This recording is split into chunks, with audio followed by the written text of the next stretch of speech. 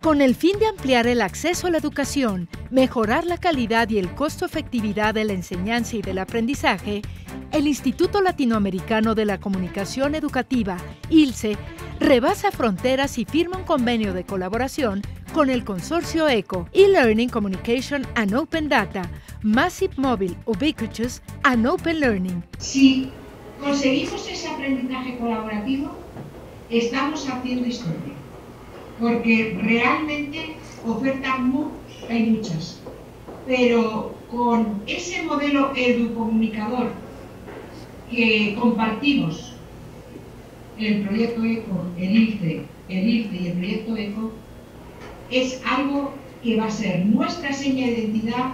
Creo que aquí nuestra oportunidad es aprovechar esas tecnologías para mejorar la manera de de educar a la población y que todo el mundo tenga acceso a ellas. Esto de la inclusión es muy importante. La alianza ECOILSE permitirá el acceso gratuito a una lista de MOOC por sus siglas en inglés, cursos online abiertos masivos en seis idiomas. De esta manera, la doctora Sara Osuna Acevedo, coordinadora del proyecto ECO, y el doctor René Somoza y Palacio, director general del ILSE, asientan esta experiencia educativa europea abriendo una ventana hacia Latinoamérica.